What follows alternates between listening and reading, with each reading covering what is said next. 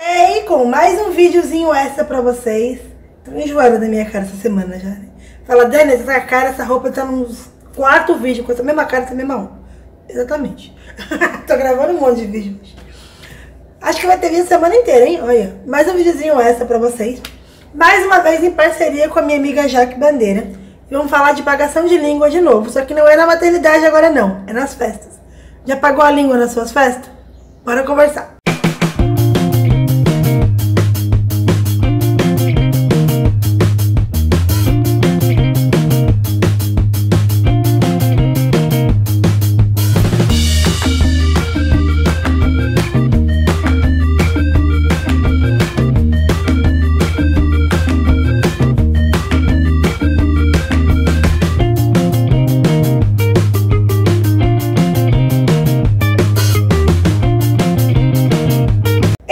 Eu falei, é mais uma parceria com Dona Jack Bandeira, Dona Jack. Dona Jack adora bolar essas enquetes, perguntas e tal, e eu adoro responder, então estamos sempre aí nessa parceria, eu e ela. E ela resolveu fazer um Pagando a Língua, que é um vídeo que ela já fez aqui pro canal, duas vezes até, de uma sobre maternidade, voltado pro mundo das festas. Eu achei bem interessante, tá? Então vamos lá para as perguntinhas de Tia Jaque, situações de Tia Jaque. E eu vou falar pra você se eu já paguei a língua ou não nessas situações. Bora lá? Primeiro, nas minhas festas jamais vou usar certos tipos de materiais. Aí ela deu alguns exemplos, como EVA, TNT, filtro. Não, nunca tive esse problema. Eu nunca tive preconceito com nenhum tipo de material. Eu acho que todo material bem trabalhado, ele pode ser bem desenvolvido. Pode tornar uma coisa bonita.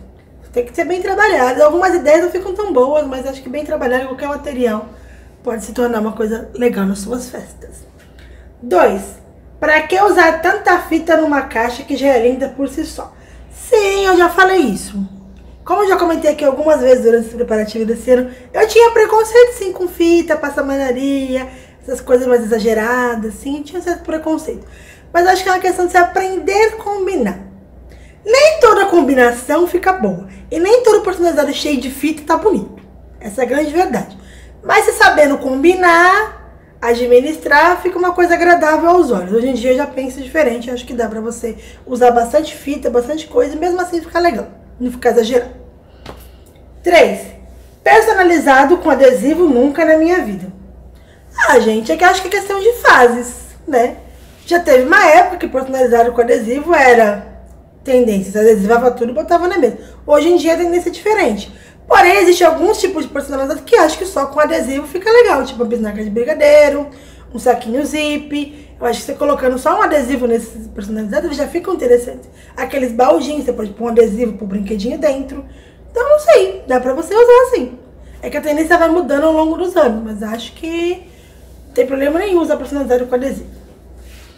4. Essa coisa de ficar pagando festa por um ano é coisa de gente louca. Depende, assim, eu não curto muito passar a festa e continuar pagando a festa.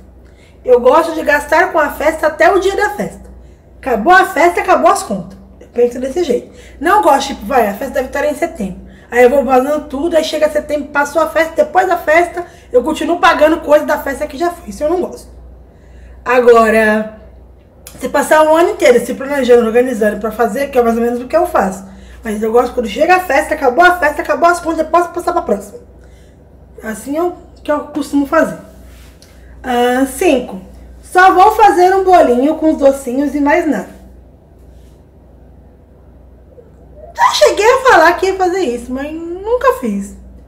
Posso fazer isso no dia do aniversário dela mesmo. Tipo, a festa vai ser, vai, tipo esse ano, a festa vai ser dia 14, ela faz aniversário dia 1 Aí pra não passar em branco, eu faço esse bolinho no dia, com docinhos assim. Mas só assim também. Pra festa mesmo oficial, acho que eu não consigo mais ficar sem personalidade, sem decoração, sem tudo mais. Não sei, não vou falar que nunca, porque a gente não sabe o dia de amanhã. Mas eu prefiro que não. 6.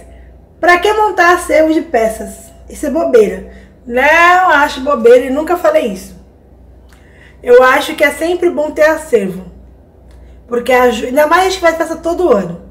Você ajuda muito. Ajuda muito ter acervo em casa. Você não tem noção. 7. Nem pagando vou virar a noite fazendo coisa de festa. Já falei e já Paguei a língua bonita nisso daí. Eu não gosto. Vou ser sincera, eu não gosto de ficar virando, virando noites e noites fazendo. É, aniversário de 5 anos da Via, eu tive que fazer muito isso. Virar várias noites e fiquei muito cansada. E eu não queria fazer mais assim. Tanto que os anteriores eu não eu consegui me organizar para não ter que fazer isso. Ano passado eu acabei me bananando e tive que virar algumas noites fazendo algumas coisas. Mas eu particularmente não gosto de ficar virando noite fazendo as coisas. Quando começa a atrapalhar minhas noites de sono, eu já não gosto muito. Ai, não gosto, não gosto, não gosto. Não gosto mesmo. Oito. Juro que não sei por que inventei. Isso. Ano que vem eu não faço nada. Nunca falei que eu não faço nada, mas todo ano eu falo, não sei pra que que eu fui inventar esta merda. Pra que fazer esse monte de coisa, Daniela?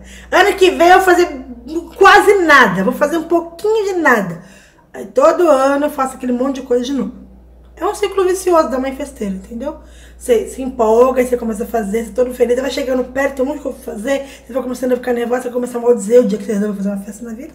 Aí, aí você fala que nunca vai fazer aquilo, Aí no dia da festa tá tudo lindo, você fica apaixonado, no dia seguinte tá pensando na próxima. Então é o ciclo da mãe festeira isso. Mas já, já. Molde de que eu juro que ano que vem eu não faço nada. Mas ano que vem estamos lá fazendo tudo de novo. Nove. Juro, esse ano eu só vou fazer três modelinhos personalizados e só. Nunca no Brasil. Olha, duas coisas que eu já parei de falar. Que ano que vem eu não vou fazer nada e ano que vem você uma festinha menor. Que nunca é. Então eu já parei de falar. Que você fala e sai como mentirosa depois. Então eu nem falo isso mais. Uh, dez e última. Imagina que eu vou ficar com um monte de coisa para convidar sair carregando sacolas de coisa. Imagina que eu vou fazer um monte de coisa para convidar sair carregando um monte de sacola. Olha, não penso muito no convidar e carregar um monte de sacola, mas eu faço. Eu faço tudo que eu acho que eu tenho que fazer, entendeu? Tudo que eu acho que é bonito, que eu gosto, que a ideia é boa, eu vou lá e faço.